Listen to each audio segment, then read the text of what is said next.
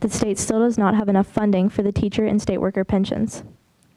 How should the government weigh its responsibilities to the public workers with its responsibilities to taxpayers? A real debate over real issues, but most of the group asking the questions here can't even vote yet. It was definitely really cool. Uh, we got to come up with the questions ourselves. Uh, we wrote the press release. With the help of their instructor, Darren Smith, these students from the Imagineering Academy researched the issues and candidates. Then they invited the candidates for Kentucky's 69th District House seat, Republican Adam Koenig and Democrat Col Owens, to a debate. This is a real political forum. These, this is the only two time these candidates are going to be together on stage. The opioid epidemic has been particularly rampant in our state of Kentucky. The students cherry picked the topics, some issues that directly affect them, and other issues that have a broader impact. School safety uh, regarding gun control, maybe arming teachers, uh, jobs, infrastructure. Daniel Kaiser will be the only student here casting his ballot this November.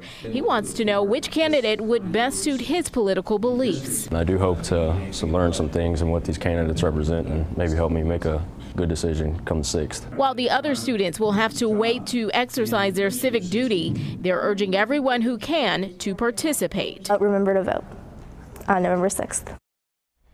Imagineering Academy is comprised of students from different high schools around Boone County. Now, this project was the first of its kind for the Academy. WLWT News 5, Ashley Kirkland.